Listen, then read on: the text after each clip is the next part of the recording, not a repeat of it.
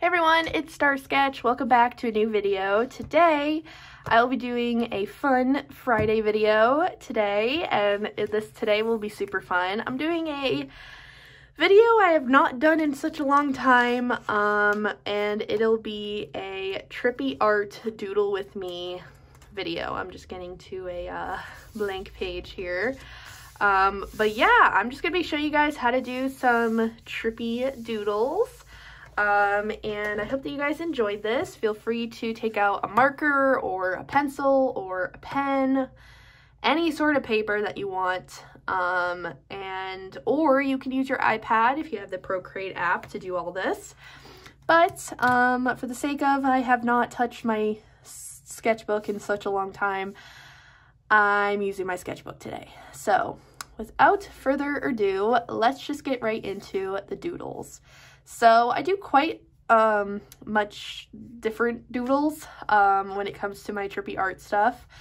Uh, the first one that I like to do, uh, typically when there's like a blank page like this, um, I'll either do a Saturn, which is like a circle with almost like an oval around it, but you don't complete it here. You just go like that. So that could be something that you add. Um, you could color in the planet itself as well to go like that. Um, another thing you could do is just add a moon. So you just go like this and then add a little C underneath it.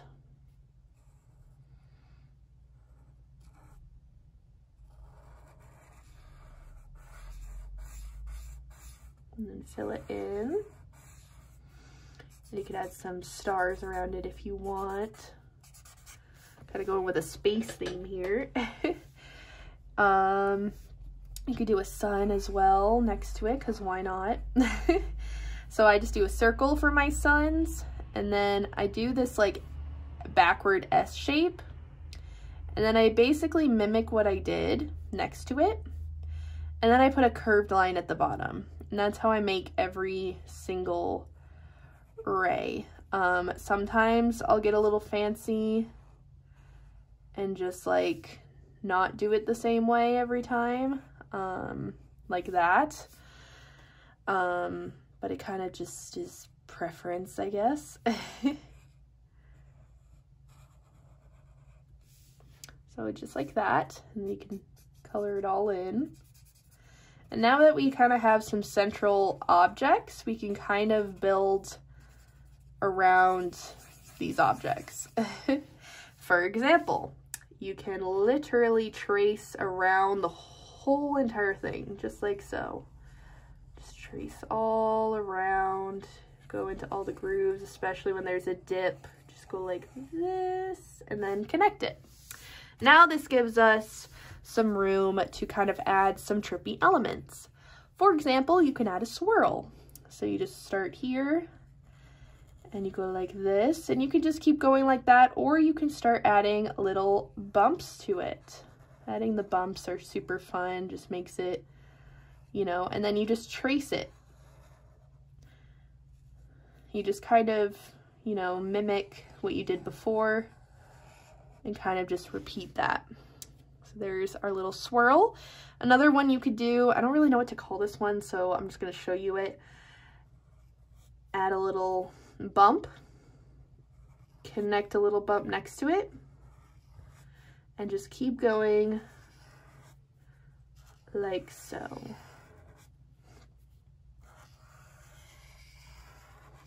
And you can just do keep on doing that if you want.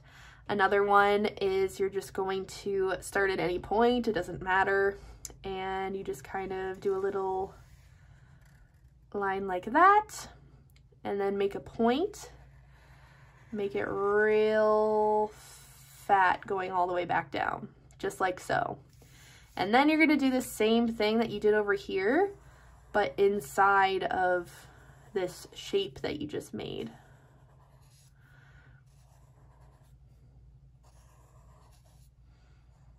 Just like so.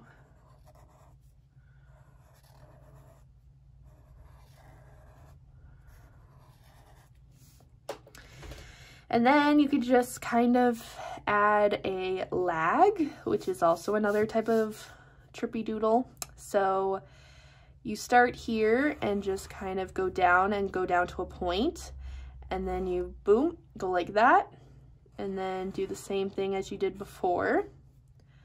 Bump out again, same thing, bump out again, curve line, bump out again, curve line, bump out again, curve line, and you do it all the way until you get to the end like that. And then you could just mimic it, as I like to call it, make it mimic the outline, just like so. Keep it all together. And now you can get kind of funky with it if you want um, and pretend that a flower is growing off of this doodle and just kind of repeat the petals like so. And you can color in the center part there. You could add dots in these if you want to. And then I'm just to mimic outline this to keep it enclosed. Another one you could do is little circles. So you literally just add all these little circles.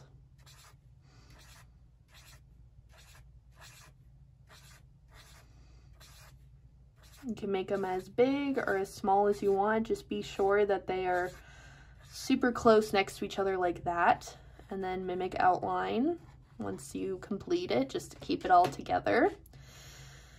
And those are some pretty basic doodles that you could do. Another one that you could actually do that I just thought of is you just do some random line like that.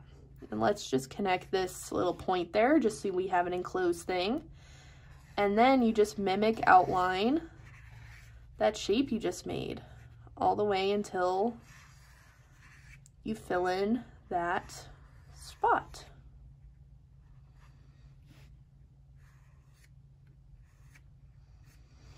Just like so.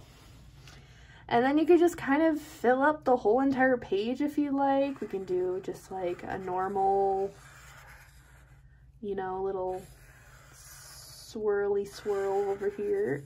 you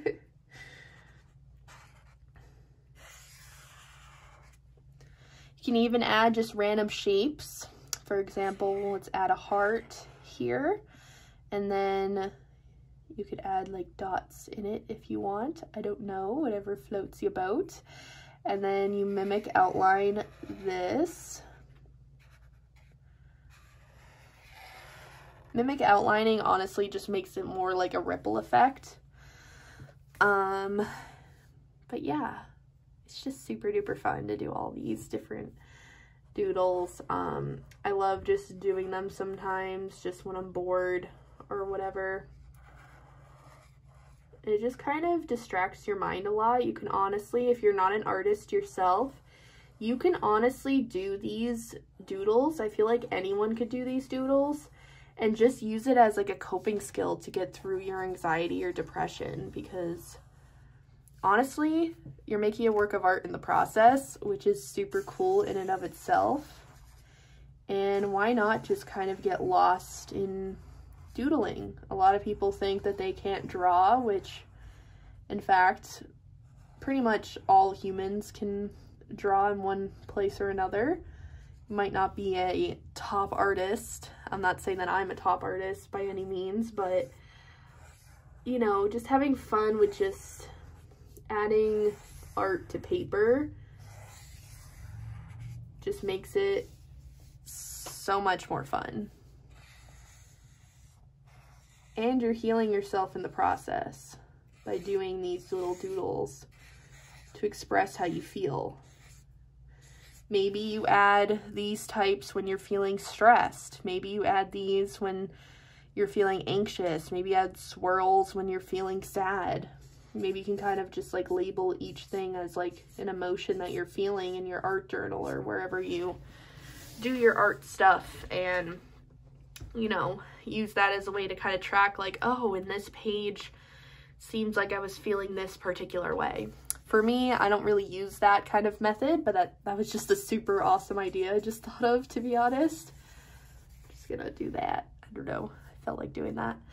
Um, but yeah, honestly, super easy to fill up a page with these doodles. Like, we've only been sitting here for 10 minutes and I, we've already drawn this much, which is insane. But I'm just gonna add a couple more doodles and we'll I'll finish this page on my own time. But I figured I would make this little fun Friday video for you guys to get you inspired, even if you don't consider yourself an artist or a creative person, you can definitely do these doodles for sure. I mean, even just adding lines to paper and then coloring them in after, making your own little coloring pages is also a valid thing to do. Oh, I forgot to even show you guys how to do drips. So while we're here and there's a big spot over here, you basically just kind of draw these teardrop shapes in various different sizes, just like so. And that's a drip. but what I like to do is kind of mimic outline in each one.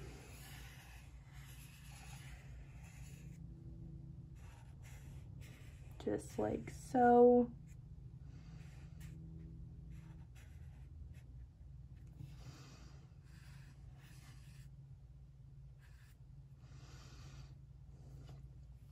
And then again, just add whatever you're kind of feeling, you know? Like it doesn't have to be perfect at all. Just whatever you're feeling like doodling, just kind of let your hand do its thing, you know? Meanwhile, we're here. I might as well finish the page. um, I'm gonna add a smiley face here because I don't know. I just feel like adding a smiley face. Look how cute. And I'm gonna add like little flower petals around it.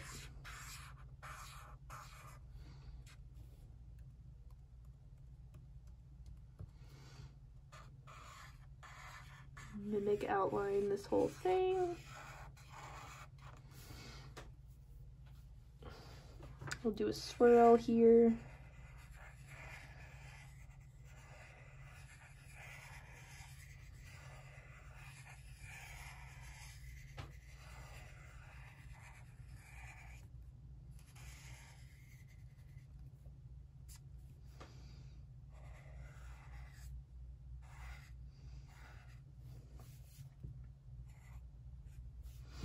And then over here, we'll just do like a random, random doodle. Mimic outline on this side.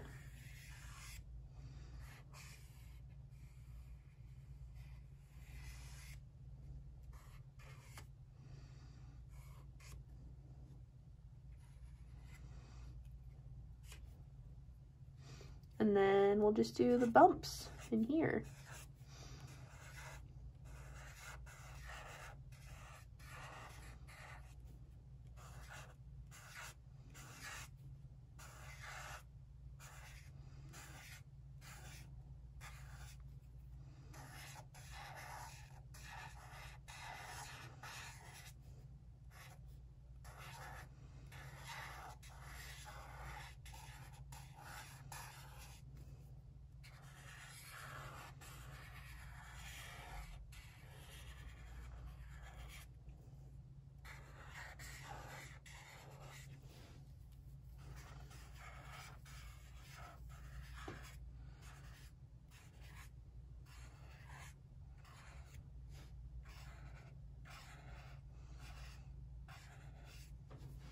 And there we go. We just filled up a whole entire page with trippy doodles.